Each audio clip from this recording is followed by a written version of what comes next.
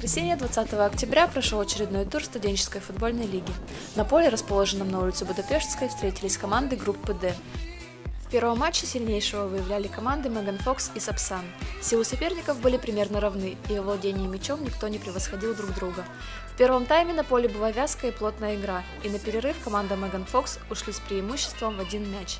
Второй тайм начался с быстрого гола ведущей в счете команды, что окончательно похоронило надежды Сапсана. В итоге Меган Фокс без особых проблем довели матч до победы. Как итог 3-1. Для Сапсана на этот день игры завершились, а вот победителям предстояла вторая встреча подряд. На этот раз их соперником стали потенциальные лидеры группы Интер Лесговта.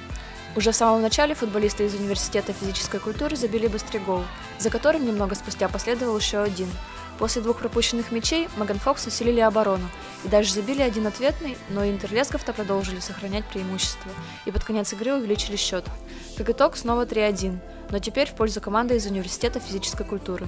О результатах встреч, а также причинах победы и поражения рассказал капитан команды Меган Фокс Тимур Киртадзе. Ну, с командой Сапсан, наверное, может, слишком вальяжно играли, я не знаю, как это назвать, но должны были более уверенно играть. И потом уже, когда начали вести, пошли уже всякие, знаете, типа пендрежи, пяточки. А что случилось во второй игре? Усталость сказалась или все-таки ну, соперники были чуть сильнее? Ну, это самое интересное, на самом деле, соперники. Игра была очень хорошая. Но, возможно, сыграла роль то, что у нас у вратаря травмирована правая рука, ему приходится одной левой практически играть. И многие голы у нас по центру залетели. Но это, конечно, не оправдание, потому что нужно надеяться не только на вратаря своего. Но игра была интересная, молодцы, спасибо соперникам, будем дальше играть. Следующей встрече сошлись команды Каратели и Тандер. Тандер практически сразу завладели преимуществом и забили два гола с перерывом в 10 минут. Отличился лучший бомбардир команды Иван Соколов. В концовке первого тайма Тандер увеличили преимущество до трех мячей. Во втором тайме каратели стали действовать гораздо активнее и смогли отквитать один мяч. В итоге матч закончился первой в этом сезоне победой команды Тандер. Расскажи свои впечатления об игре. Легко ли далась победа или тяжело? Победа далась достаточно тяжело, очень серьезный соперник. Сыграли достаточно строго в обороне, поэтому пропустили всего один мяч, свои моменты забили и поэтому выиграли. Как и Меган Фокс, карателям пришлось отыграть две встречи подряд. На этот раз их соперниками стали соседи по турнирной таблице Brave Hearts.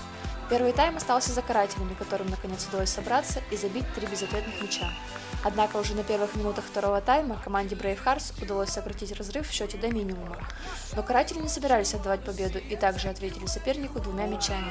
Даже пропустив еще один гол, они одержали уверенную победу со счетом 5-3. В заключительном матче соревновательного дня Hearts одержали победу над командой Thunder со счетом 5-3.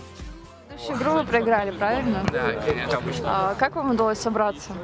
Нам удалось собраться, но мы на стиле всегда собираемся к концу первого матча. Вот в первой игре мы тоже собрались под самый конец, забили один мяч, но этого не хватило. И вот вторая а... игра, поскольку подряд шла, уже по накатанной все. А большая разница между соперниками, которые сейчас, которого победили и которого мы проиграли? Ну, между... На самом деле, да, разница есть. Не зря все-таки мы в пятером второй матч выиграли. У нас один игрок ушел просто, он не смог дождаться конца матча, ему надо в театр было срочно. И он предал нас и сбежал, а у нас замены нет. Наверное, как была уже разница в счете ощутимая. Угу. Немного подрасслабились и начали играть с удовольствием. Все равно там полминуты оставалось, мы были уверены, что докатаем, если что, ну, до конца. Поздравляем. По итогам состоявшихся встреч на первое место в группе вышли Интерлесговта, на втором месте Винни Джонс из Санкт-Петербургского государственного университета, а третий уверенно занимают быки из ИТМО, которые имеют к тому же одну встречу в запасе. Марина Шорикова, Дмитрий Зимин, специально для студенческой футбольной лиги Санкт-Петербурга.